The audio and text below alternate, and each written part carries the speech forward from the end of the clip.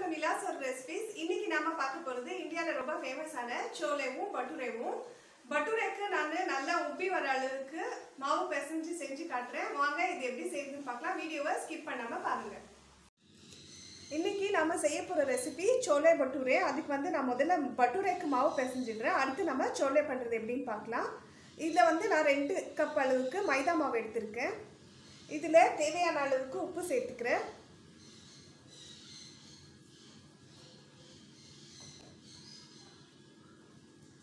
மூணு table spoon அளவுக்கு தயிர். நான் வந்து இந்த ரெசிபியில் சோடா எல்லாம் எதுவும் சேர்க்கல. சோடாவோ இல்லை பேக்கிங் பவுடரோ எதுவும் சேர்க்கல. அப்படியே தான் செய்கிறேன் இதை ஒரு தடவை நல்லா கலந்து விட்டுடலாம். தயிர் உப்பெல்லாம். அடுத்து இதில் வந்துட்டு ஒரு மூணு டேபிள் ஸ்பூன் அளவுக்கு ரவை சேர்த்துக்கிறேன். சேர்த்துட்டு இதை நல்லா கலந்து விட்டுட்டு அப்புறமா பிசைஞ்சு எடுத்துக்கலாம்.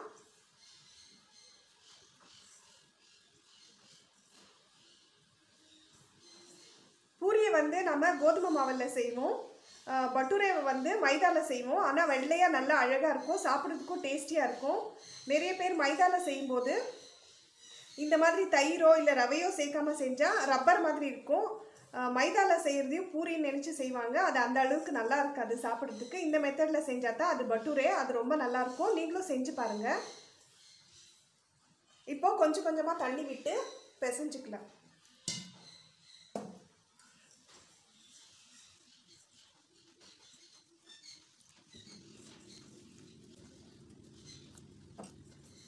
இப்போ இந்த மாவை வந்து நான் பத்து நிமிஷம் பிசைஞ்சிருக்கேன். இதில் வந்து நான் சர்க்கரை சேர்க்கல. உங்களுக்கு பிடிச்சிருந்தா சேர்த்துக்கோங்க. சர்க்கரை சேர்க்கும் போது லேசான கோல்டன் கலர் வரும். இது மேலே இப்போ வந்து நான் ஒரு டேபிள் ஸ்பூன் அளவுக்கு ஆயில் சேர்த்துக்கிறேன்.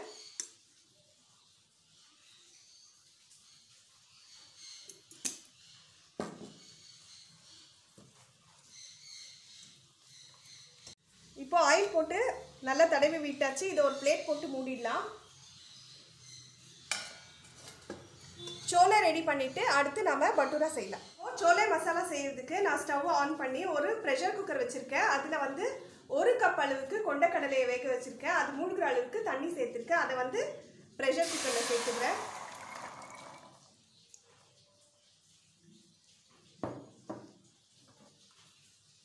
இதில் நான் டீ பேக் எதுவும் போடுறதா இல்லை. சோடா கூட போடுறதில்ல. தேவையான அளவுக்கு உப்பு மட்டும் சேர்த்துக்கிறேன். பாதி அளவுக்கு உப்பு போட்டுக்கலாம். அப்புறமா நம்ம மசாலா செய்யும்போது இன்னும் பாதி உப்பு போட்டுக்கலாம். இதை போட்டு கலந்து விட்டுட்டு மூடி போட்டு வேக விடலாம். இது ஒரு நாலு விசில் வர அளவுக்கு வேகணும். நல்லா சாஃப்ட் ஆகணும். இது வெந்த பிறகு அடுத்து எப்படி செய்யறதுன்னு பார்க்கலாம். இப்போ குக்கர் வந்து நாலு விசில் ஆயிடுச்சு. இப்போ எப்படி வெந்திருக்குன்னு பார்க்கலாம். ப்ரெஷர் எல்லாம் ரிலீஸ் ஆயிட்டு இருக்கு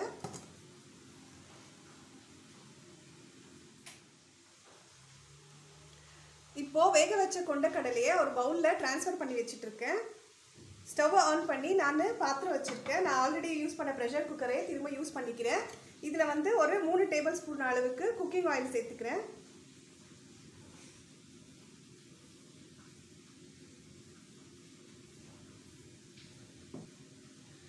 ரெண்டு துண்டு பட்டை மூணு லவங்கம் இதில் சேர்த்துடுறேன்.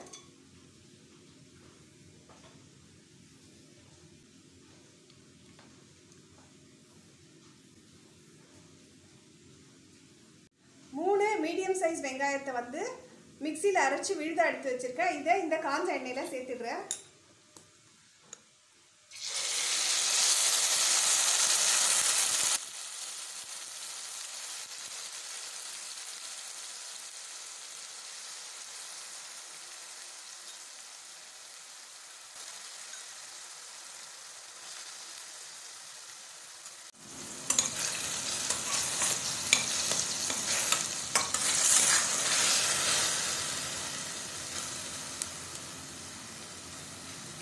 நான் இதில் எதுக்கு வெங்காயத்தை பேஸ்ட் பண்ணி சேர்த்துருக்குறேன்னா வெங்காயம் தக்காளி எல்லாம் பொடி அரிஞ்சு போட்டால் கூட அதை வந்து ஒதுக்கி வச்சுட்டு தான் செய்கிறாங்க இந்த மாதிரி செய்யும்போது கிரேவி வந்து இன்னும் கொஞ்சம் அதிகமாக கிடைக்கும். இந்த வெங்காயம் தக்காளி எல்லாம் ஒதுக்காமல் அந்த கிரேவியோடவே சேர்ந்து சாப்பிடுவாங்க. இன்னும் டேஸ்ட் நல்லா ரொம்ப நல்லா வருது. அதனால தான் இப்படி சேர்த்து செஞ்சுருக்கேன்.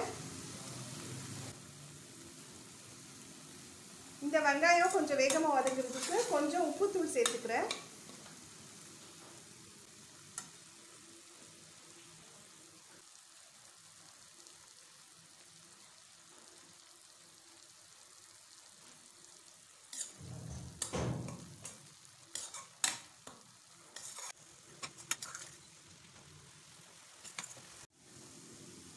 இப்போ வெங்காயம் நல்லா வதங்கி இருக்கு. இதுல வந்து ஒரு டேபிள் ஸ்பூன் அளவுக்கு இஞ்சி பூண்டு பேஸ்ட் சேர்த்துக்கிறேன்.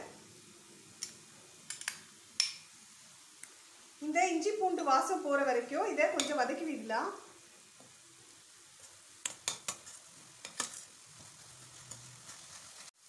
இப்போ இந்த இஞ்சி பூண்டு பேஸ்ட் போட்ட பிறகு ரெண்டு பச்சை மிளகாய் இதில் ஒடிச்சு போட்டு விட்டுடுறேன்.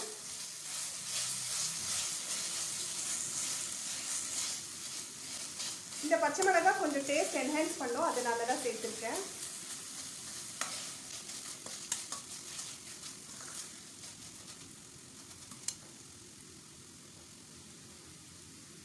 அடுத்து ரெண்டு பெரிய சைஸ் தக்காளியை மிக்சியில் விழுத அரைச்சி வச்சுருக்கேன். இதை இது கூட சேர்த்துடலாம்.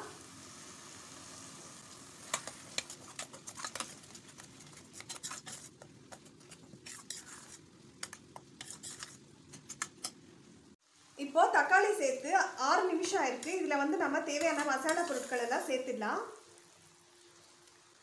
மஞ்சள் தூள் அரை டீஸ்பூன்.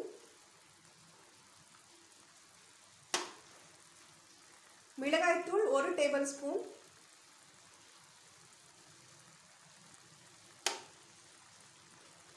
தனியாத்தூள் ஒரு டேபிள் ஸ்பூன்.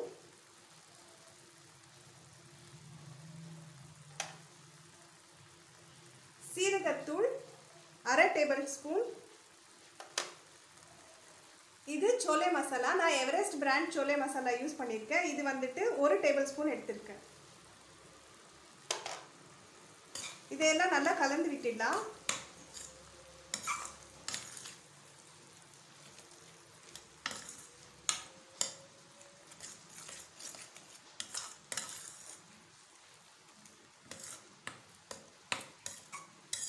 கலந்து விட்டுட்டு நம்ம வேக வச்ச கொண்டக்கடலையை அந்த தண்ணியோடவே சேர்த்துடலாம்.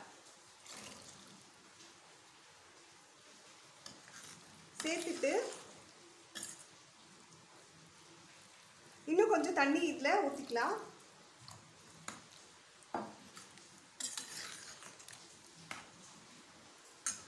தேவையான அளவுக்கு உப்பு சேர்த்துக்கிறேன். அப்போவே நம்ம கொண்டக்கடலை வேகிறதுக்கு பாதி உப்பு போட்டிருக்கோம். இப்போ மிச்சம் உப்பு போட்டுடலாம். இதை போட்டு கலந்து விட்டுட்டு தீயை கொஞ்சம் அதிகப்படுத்திக்கலாம். ஒரு மீடியம் சைஸ் எலுமிச்சம்பழ அளவு புளியை கரைச்சி வச்சுருக்கேன். இதை வந்துட்டு இது கூடவே சேர்த்துடுறேன். இந்த புளி கரைசலை இதில் சேர்த்துட்டு நல்லா புளி வாசனை போகிற வரைக்கும் கொதிக்க விடணும்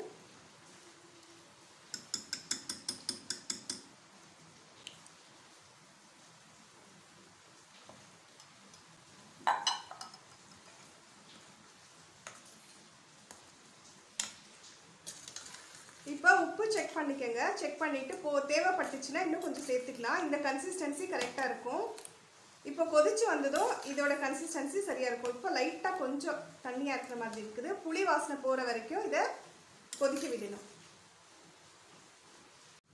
இப்போ இதை மூடி போட்டு மூடி விட்டுடலாம். ஒரு எட்டுலேருந்து பத்து நிமிஷம் மீடியம் தீயில் இதை கொதிக்க விடலாம். இப்போது புளி கரைசல் ஊற்றி பத்து நிமிஷம் ஆயிடுச்சு.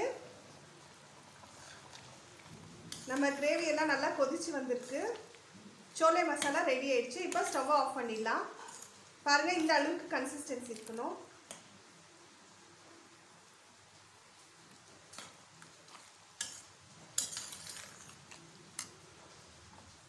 அடுத்து நம்ம பட்டூரா எப்படி செய்யுதுன்னு பார்க்கலாம்.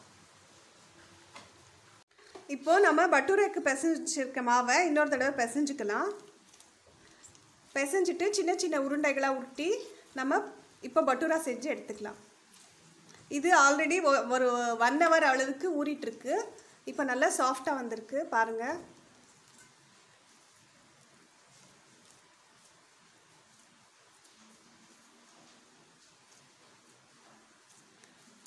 இப்போ இதை குட்டி குட்டியாக ரவுண்ட்ஸ் பண்ணி எடுத்துக்கலாம் பால்ஸ் பண்ணி எடுத்துக்கலாம்.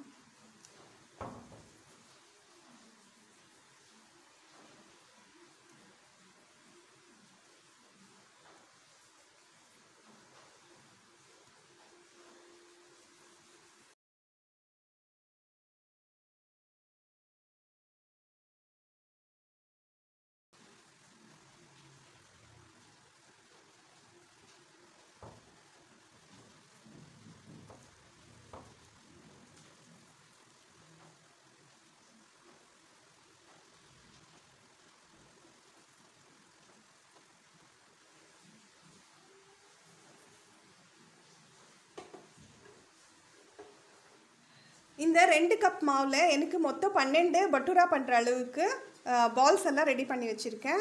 அடுத்து நம்ம தேய்க்கிறது எப்படின்னு பார்க்கலாம். கொஞ்சம் மாவை தூவிட்டு அது மேலே இந்த பட்டூராவை தேய்ச்சி எடுத்துக்கலாம்.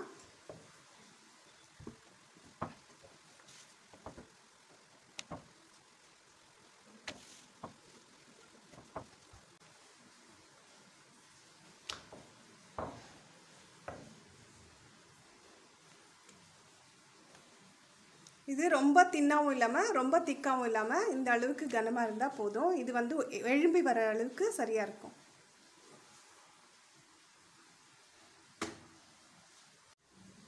இப்போது எண்ணெயில் போட்டு எடுக்கிறது எப்படின்னு பார்க்கலாம். எண்ணெய் நல்லா காஞ்சிடுச்சு. அதில் நம்ம பட்டூராவை போட்டுடலாம்.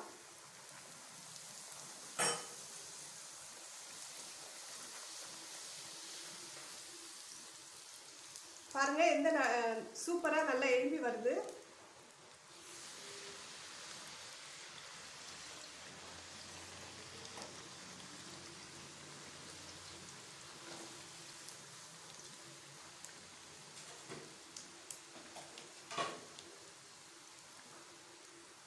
நல்லா பொரிஞ்ச உடனே இதை ஒரு பிளேட்டுக்கு மாற்றிடலாம்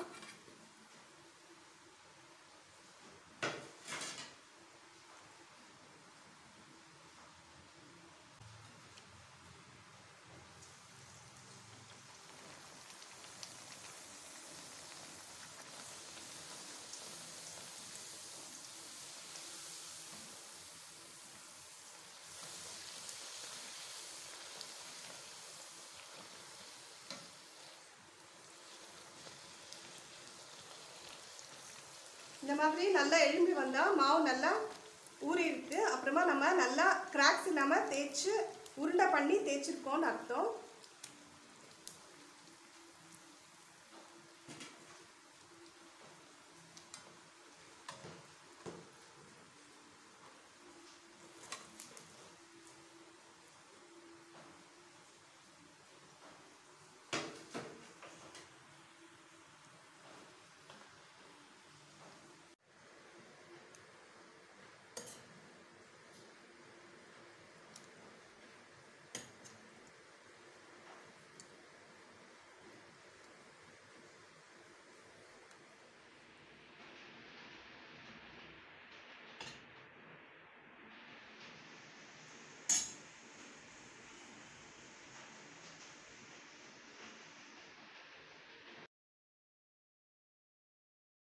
இன்னைக்கு இந்த சோலே மசாலாவும் பட்டூரா ரெசிபியும் உங்களுக்கு பிடிச்சிருக்கும்னு நினைக்கிறேன்.